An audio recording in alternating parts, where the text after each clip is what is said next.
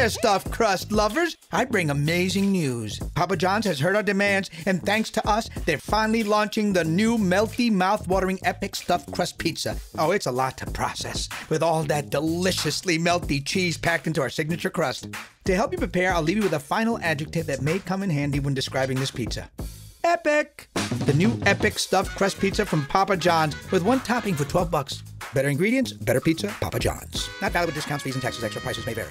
FMC Ice Sports, which operates 17 rinks in the state, says it knows how tough things have been for Massachusetts families, and that's why there will be no charge for the public skating sessions that return today. Strict distancing guidelines mean only 25 skaters will be allowed on the ice at a time, and to achieve that, FMC is requiring pre registration at least 24 hours in advance. Participants can have up to two spectators in the stands if they're under 18, and they have to have their own blades. There are no rentals or concessions. FMC plans to continue the program through the winter season as long as state guidelines allow. From Worcester, Kendall Buhl, WBZ, Boston's News Radio.